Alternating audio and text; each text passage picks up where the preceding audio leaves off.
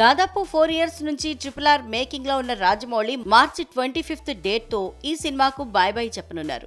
ఆ cinema success కొద్ది రోజులు ఎంజాయ్ చేసి ఆ తర్వాత మహేష్ సినిమా షూట్లో ఇన్వాల్వ్ కానున్నారు. ఇక అకార్డింగ్ లేటెస్ట్ బజ్ ఇప్పటికే బౌండెడ్ స్క్రిప్ట్ను చేతిలో పెట్టుకుని వెయిట్ చేస్తున్న రాజమౌళి తాజాగా ఈ సినిమా కోసం మరో టాలీవుడ్ స్టార్ని లైన్లో పెట్టారట.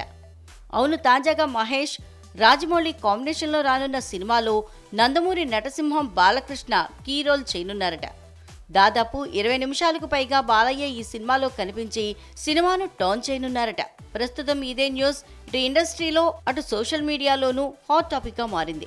ఇక ఇప్పటికే జక్కన్న ఫాదర్ విజయేంద్ర ప్రసాద్ ఆఫ్రికా బ్యాక్డ్రాప్లో జరిగే అడ్వెంచర్ థ్రిల్లర్ ఈ సినిమా అని చెప్పేసి మహేష్ ఫ్యాన్స్ అండ్ ఫాలోవర్స్లో క్యూరియాసిటీ పెంచేశారు. ఈ సినిమాపై అప్పుడే అంచనాల్ని పెంచేశారు. ఇక ఇప్పుడు బాలయ్య ఈ సినిమాలో యాక్ట్ చేశారు అంటూ మరో న్యూస్ బయటకు రావడంతో ఈ ప్రాజెక్టు వంకే చూస్తున్నారు ఫిలిం లవర్స్ అందరూ. మరి ఈ న్యూస్లో నిజమేంతో తెలియాలంటే మరికొంతకాలం వెయిట్ చేయాల్సిందే.